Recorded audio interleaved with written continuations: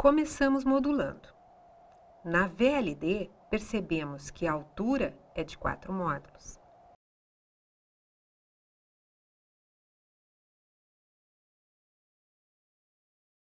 Já na largura, conforme as informações das partes do desenho, vemos que a largura é 6.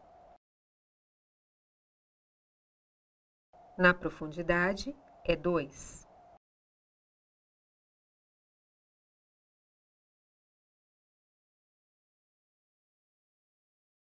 A posição de trabalho, então, será VA, VS, VLD. Largura 6, altura 4, profundidade 2.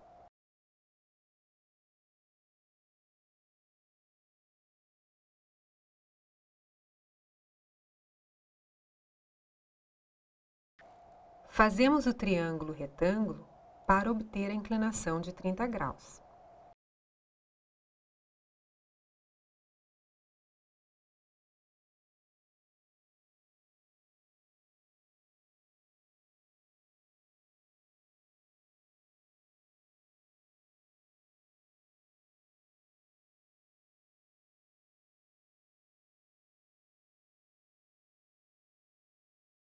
Tomando as dimensões para a VLD, começamos a traçar a perspectiva marcando sobre a linha de 30 graus dois módulos.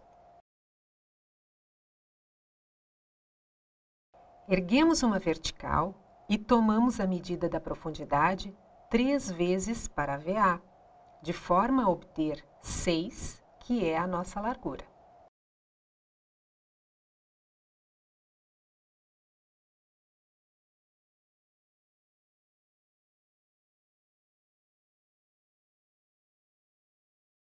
Sobre as verticais, marcamos duas vezes a medida da profundidade, obtendo sobre todas a altura de 4.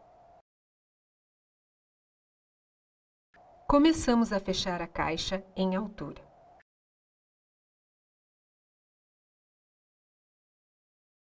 Para obter o ponto que falta para a face horizontal de cima, elevamos uma vertical a partir do fundo da face VA com a medida da profundidade. Neste caso, 2.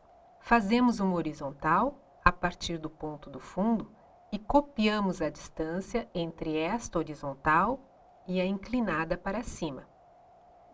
Nessa marcação está o ponto para o fechamento da face horizontal da tampa da caixa. Marcamos a espessura da parte plana da peça sobre a caixa. Neste caso, um módulo.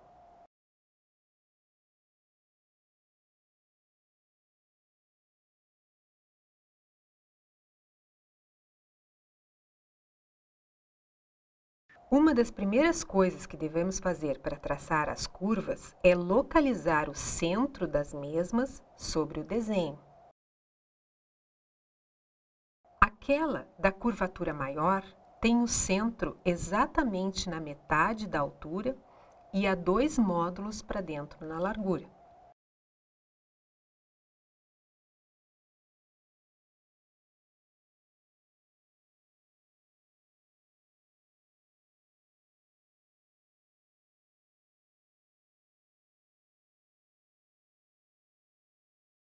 Para o centro da pequena curvatura percebida na VS, marcamos dois módulos na largura e dois módulos na profundidade, armando um quadrante onde serão esboçadas as curvas.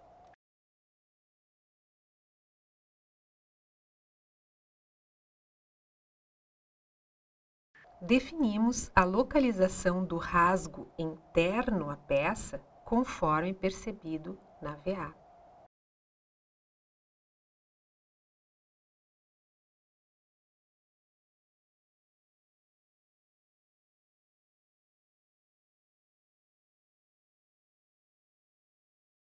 Quando os quadrantes estiverem traçados, podemos proceder com as curvas, observando sempre as deformações dos arcos de elipse.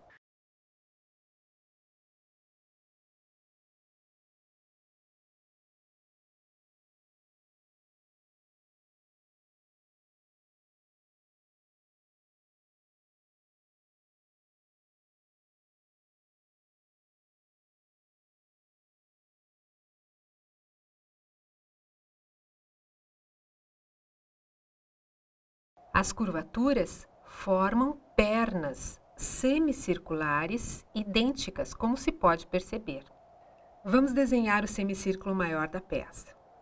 Para isso, marcamos as tangências sobre a face da VA e as prolongamos para o fundo. Traçamos os arcos mais abatidos e prolongamos até as curvas já desenhadas.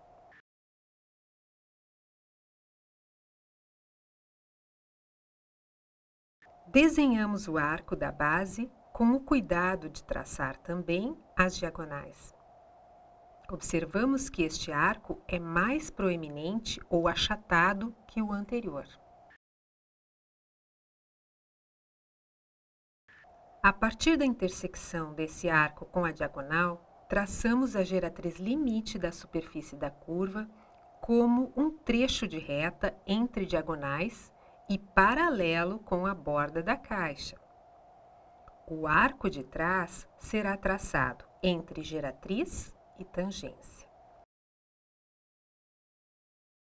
Para o traçado da borda frontal do furo, vemos que ele tem dois módulos de diâmetro. Assim, marcamos um quadrado sobre a face principal com essas dimensões e as tangências que essa elipse deverá tocar. Procuramos traçar arcos opostos, pois fica mais fácil por causa da deformação semelhante.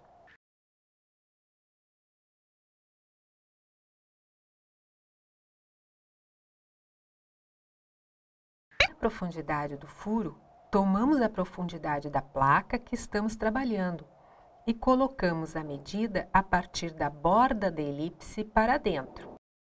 Dividimos o resto até a borda oposta em dois por uma perpendicular. Onde a reta toca a curva será início e fim de uma curvatura refletida, formando a borda posterior do furo da peça. Iniciamos as achuras, observando que as superfícies curvas devem ter achuras gradativas no afastamento. Neste caso, as achuras perto da base devem ser mais próximas, pois tendem à face inferior do objeto, que recebe pouca luz. O contrário ocorre com as achuras que tendem à face superior.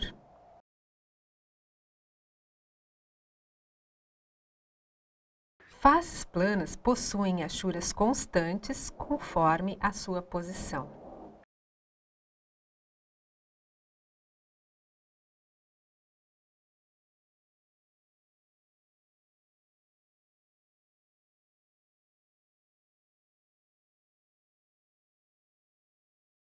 Na superfície do furo, as achuras devem ser gradativas, como comentamos, cuidando para que haja paralelismo e que obedeça à direção da diagonal menor do furo ou seu eixo de giro.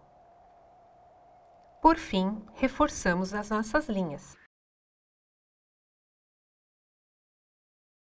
Valeu, pessoal! Até a próxima!